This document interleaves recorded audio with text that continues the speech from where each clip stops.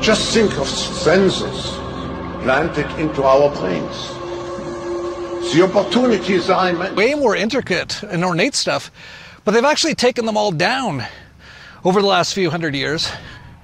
And now you have people who go to college and get their architect degree or engineering degree and create buildings like this. We realized early in the process within social media that people react to before and after pictures. If you find a very ugly building in the city and then you go to the city archives, you might find a picture of what was there before. That's a very talking image in mm. terms of what we used to have and what we have now. And that effect makes people angry because they realized they lost something they never knew they had.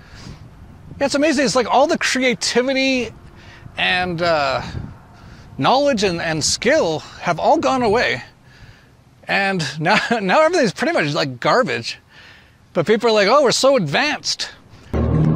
CHIPS Act because uh, it's an important step to create the physical brain for digitalization.